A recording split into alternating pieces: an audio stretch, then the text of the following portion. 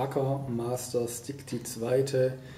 Herzlich willkommen nochmal zurück auf meinem Kanal. Es gibt ein kurzes Update-Video, denn in den letzten Stunden hat der Bau vom Stick so ein bisschen Fortschritte gemacht. Wie ihr seht, steht das Modell jetzt schon auf eigenen Beinen. Fahrwerk ist montiert. Tragfläche ist drauf. Der ähm, Empfänger ist drin, die Servos sind alle soweit angeschlossen. Einzig und allein der Höhenruder-Servo, der läuft hier noch ins Leere. Das Höhenruder fehlt noch, das kommt jetzt gleich noch.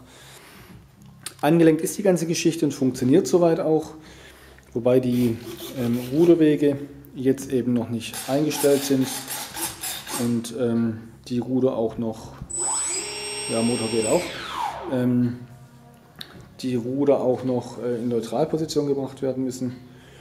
Aber ansonsten sieht die ganze Sache hier schon mal ganz gut aus. Probleme gemacht hat mir so ein bisschen der Einbau des Empfängerakkus.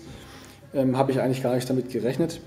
Beim ersten Mal hingucken hat es so ausgesehen, als ob alles passt. Ähm, der Spektrum-Empfänger, den ich verwende, der hat allerdings links und rechts zwei so kleine Anschlüsse für die Antennen und die verbreitern den Akku so ein bisschen. Und die haben mir jetzt letzten Endes, diese Verbreiterungen haben mir jetzt ein bisschen Sorgen gemacht, weil der Rumpf eben doch relativ schmal ist und dann so 5-6 mm gefehlt haben, um den Empfänger da unterzukriegen. Hat aber letzten Endes jetzt doch funktioniert. Und ja, ich bin guter Dinge, dass ich das Ding heute noch so weit fertig kriege, zumindest vom Aufbau her.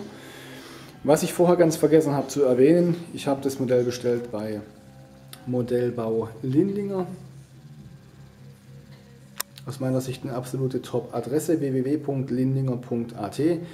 Ich habe dieses Modell am Freitag bestellt und bereits gestern am Montag war das Paket dann schon da. Ging also alles wirklich rasend schnell. So ging es auch beim, beim letzten Mal, beim, bei der letzten Bestellung.